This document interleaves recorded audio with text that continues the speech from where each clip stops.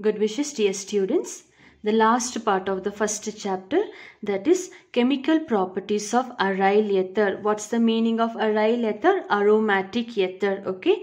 Now it undergoes electrophilic substitution reaction. As you learnt in terms of phenol, electrophilic substitution when we say with the aromatic group, they are electron withdrawing group. As a result, the incoming electrophile, which is a electron loving group, will go either to ortho or a para position. Out of the two, the one, the product that is formed at a para position is more stable. Hence, they are called as a major product. The product that's formed at the ortho position is called as a minor product here. And it activates the aromatic ring towards the electrophilic substitution.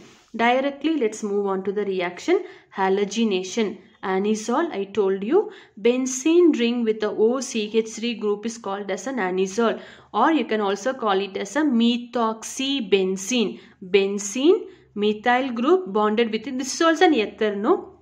Aromatic group, oxygen and alkyl group. So methoxybenzene or a common name anisole. When you treat with bromine in ethanoic acid, bromine has got a 2 bromide ion. Two types of products are possible. One at the para position bromide goes into, the other one at the ortho position bromide ion goes into. As I told you, para position product will be the major product. Name of it para bromo anisole. Here ortho bromo anisole, it's a minor product. Only so much you need to remember. In terms of nitration, earlier I told you nitration when we say two types of concentrated nitric acid and a concentrated H2SO4. Here again we are considering anisole because it's an methoxybenzene aryl ether category. Here also two types of product, one at the para position, one at the ortho position. You can change and write, that's not a problem.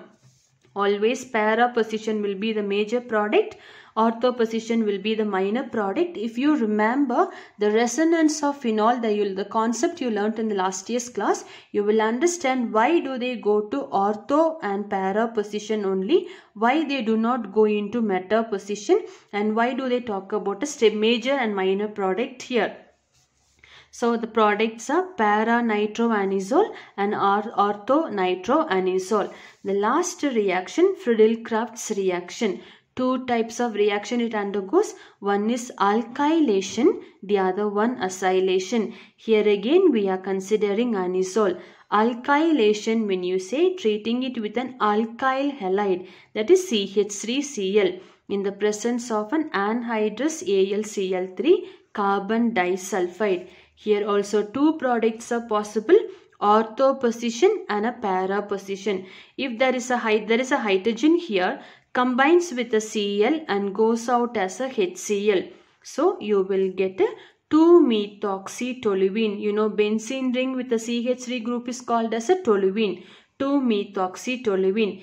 Being at ortho position it's a minor product. One more product if suppose the hydrogen from here combines with a Cl we will get CH3 here. HCl will go out. So this is 4-methoxytoluene para position major product. On the other side, anisole, acylation. Acylation is treating it with an acetyl chloride.